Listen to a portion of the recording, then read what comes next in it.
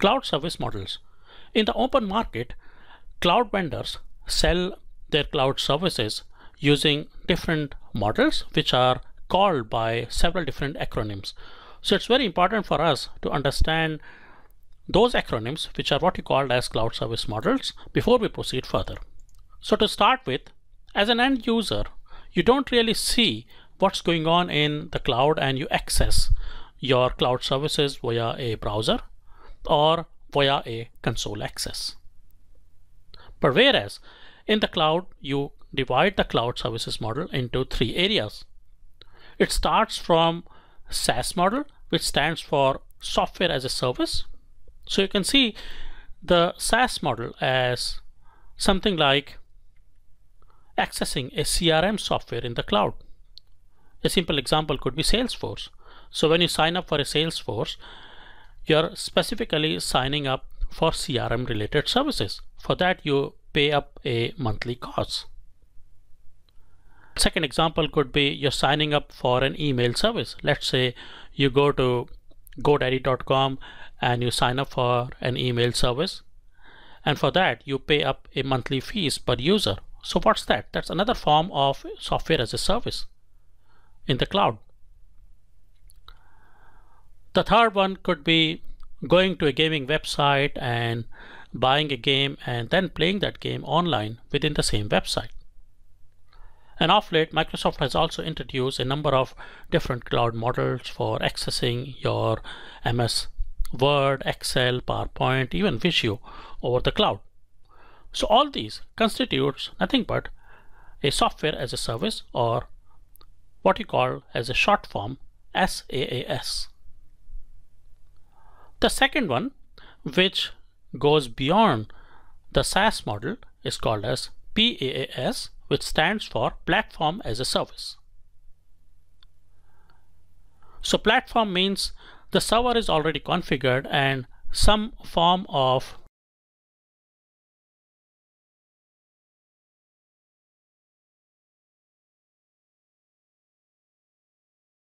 shared server access you're getting to host your software. As an example, I go to host.com or name.com or godaddy.com and sign up for a hosting plan.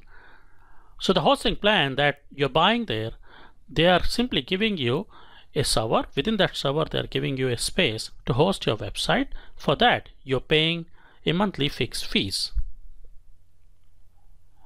But they are not configuring the website for you. So once you get access to the hosting space, then you log in into the console provided by those companies and then you deploy your website and host on the platform that you have purchased in the cloud. So such platform is what you call as platform as a service or PaaS. Other examples could include database as a service. It's one of the form of a PaaS model or software development tools. For example,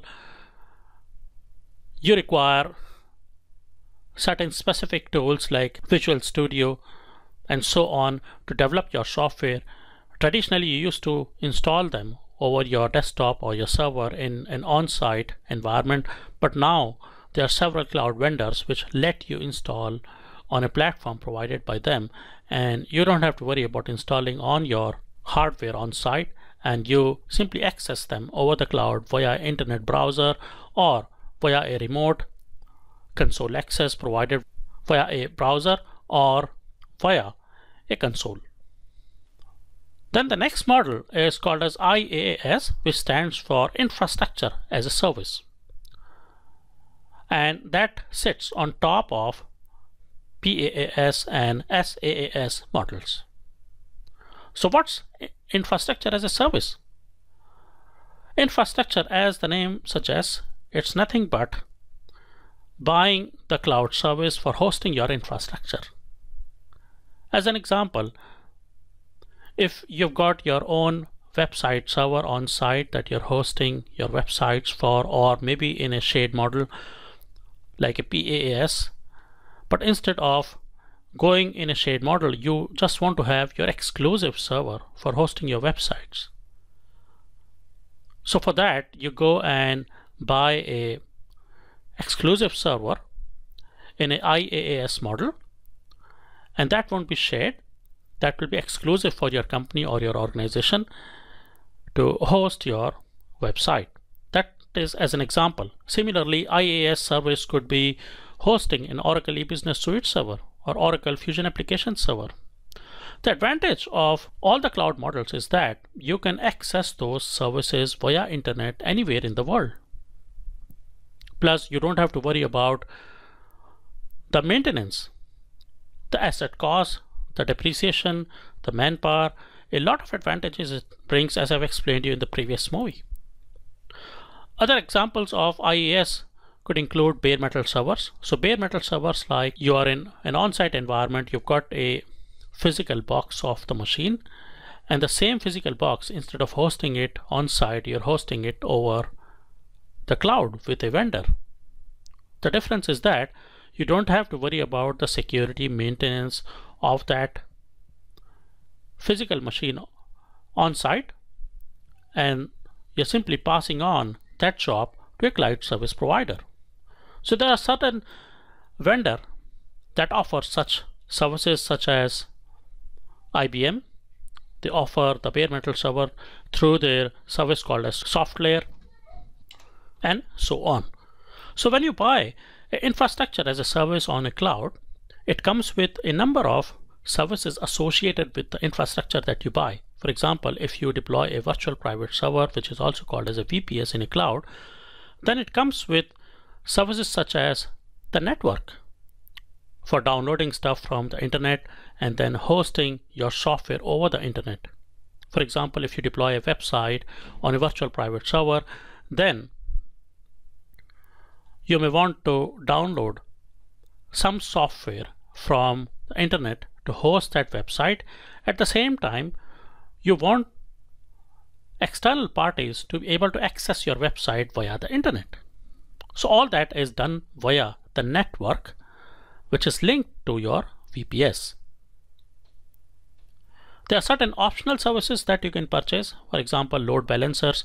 Load balancers are something like if you've got a website with huge traffic and you want to balance the load on your server. So you deploy multiple application servers so that if there is a spike in the traffic that get balanced from these multiple instances.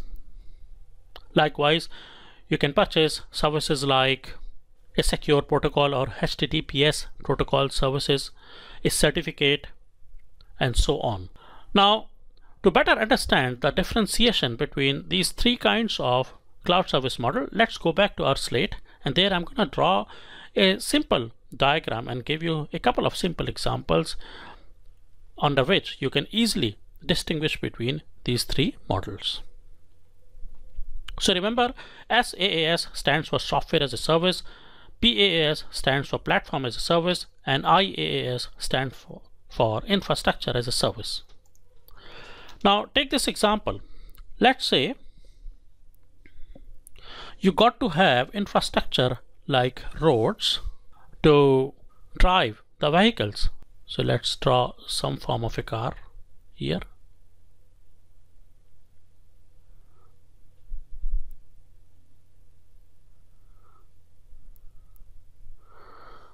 Okay and here I've talked about two things. One is roads second is vehicles such as cars trucks or two-wheelers and so on. But who drives those vehicles? Those vehicles are driven by manpower right? So this is the third component that comes into picture. So what you have roads take this as IaaS because it provides you the infrastructure to drive your vehicles. And these vehicles are nothing but the platform which you are using to go from one place to another or transport goods from one place to another which is where PaaS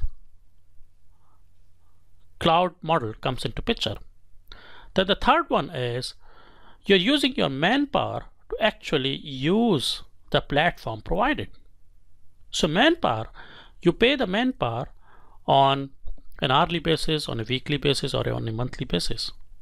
But manpower is the one who drives everything from one place to another. And consider this one as the software as a service or the SaaS model.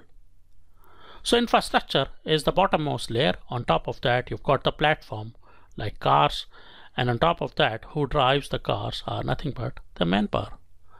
And the cloud service model is absolutely similar to what I've just explained you. So infrastructure as a service includes the servers. Platform includes things like shared services platform, like hosting platform, email platform, or maybe storage platform and so on.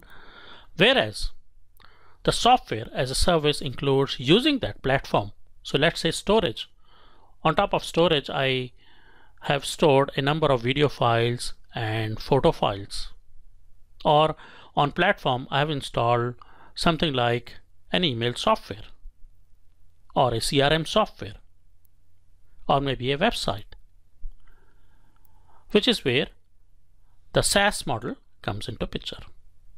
So that's how you differentiate between the three types of cloud services model. So going forward, I'm going to explain you the concept of different types of clouds within these cloud services models.